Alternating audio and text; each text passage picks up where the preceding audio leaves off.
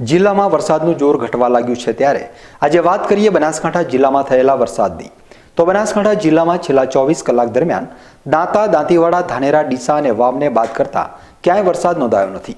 છેલ્લા ચોવીસ કલાકમાં દાંતામાં અઠ્ઠાવન મિલીમીટર વરસાદ નોંધાયો છે, જ્યારે ડીસામાં સાત મિલીમીટર, દાંતીવાડામાં નવ મિલીમીટર, ધાનેરામાં છ અને વાવમાં માત્ર એક મિલીમીટર વરસાદ નોંધાયો છે, જ્યારે અન્ય તાલુકામાં નહિવત વરસાદ નોંધાયો છે. જિલ્લામાં આજે સરેરાશ વરસાદની વાત કરીએ તો પાંચ પોઈન્ટ અગણ્યાસી મિલીમીટર વરસાદ નોંધાયો છે.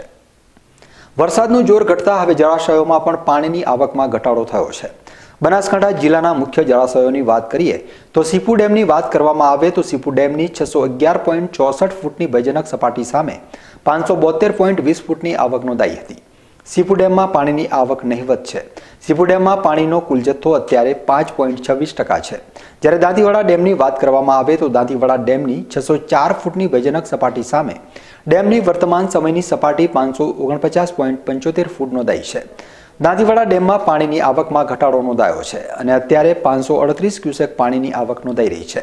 ડેમમાં પાણીના જથ્થાની વાત કરવામાં આવે તો દાંતીવાડા ડેમમાં અત્યારે સાત પોઈન્ટ ત્રાણું પાણીનો જથ્થો એકત્રિત થયો છે.